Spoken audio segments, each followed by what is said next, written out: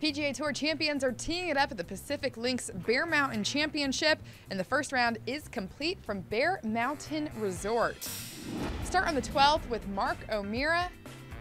This was for Eagle on the par 5, made it on the green in 2, turning things around on the back 9, starting with this Eagle on 12. He birdied the next, as well as one more in 16.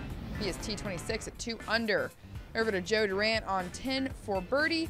Started his day with a birdie on the first, which he gave right back on two. Made the turn birdie the 10th as well as 12 and 15 to get to three under. He is T20 along with Marco Dawson here on 14.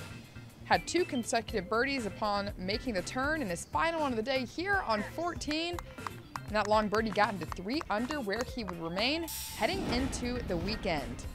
Over to 18, Duffy Waldorf with his third shot on the par 5 coming off a birdie on 17.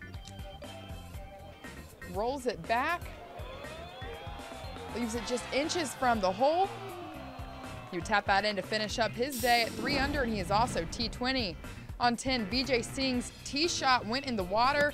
So from the drop zone, this would technically be his third shot after taking that drop. And he holds it for one world-class par. He shot a bogey-free 4 under 67 to get to T8. Back to 18, Joe Daly finished his round in style, birdied 16 and 17. Look at this shot. Rolls it down and holds it out from the bunker for birdie on the par 5 to finish his round with three consecutive birdies, and he is also tied for eighth at 4 under. Jeff Sluman in his third shot, still on 18, shot a bogey-free 6 under 65, set up his final birdie of the day here on 18, and he is T4 at 6 under heading into Saturday.